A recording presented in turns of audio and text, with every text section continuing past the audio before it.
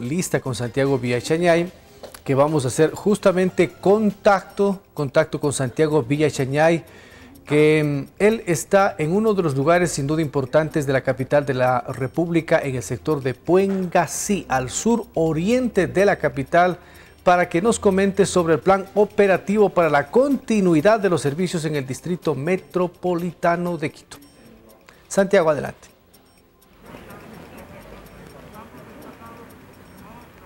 ¿Qué tal amigos? Muy buen día. Estamos aquí para llevar este informe de cómo se espera desarrollar la jornada de este jueves 22 de octubre en la capital con operativos de seguridad y presencia de elementos que garanticen el orden y un desarrollo normal de este día, procurando que las manifestaciones no interrumpan el normal eh, ritmo de actividad.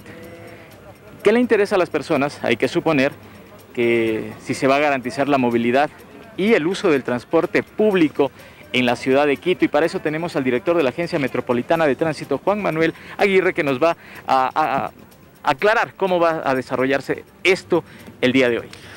Así es, buenos días. Nosotros con la Agencia Metropolitana de Tránsito estamos garantizando la movilidad en la ciudad de Quito. Eh, esperemos que en el transcurso del día no tengamos inconvenientes. Hasta el momento no tenemos ningún reporte. Estamos trabajando ya desde las 5 de la mañana en algunos puntos donde estamos haciendo ya los controles respectivos.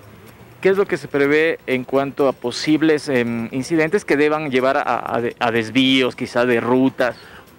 Cuando hablamos de desvíos en el centro histórico, estamos hablando de la avenida Pichincha, de la Mariscal Sucre, donde vamos a hacer los desfogues de la carga vehicular en el caso de que tengamos conglomeraciones muy altas, así que vamos a garantizar la movilidad en el sector también. Eh, tenemos conocimiento que ya se han cerrado algunas calles por parte de Policía Nacional en coordinación con las demás instituciones del municipio, así que estamos nosotros también ya en el punto, en los sectores, para poder ayudar a la ciudadanía.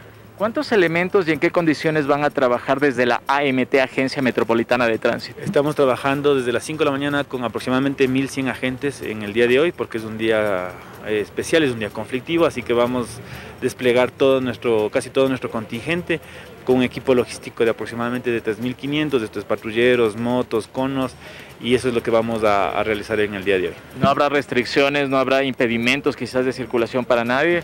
No, el día de hoy siguen las restricciones vehiculares. Hay que recordar que hoy puede circular la placa par.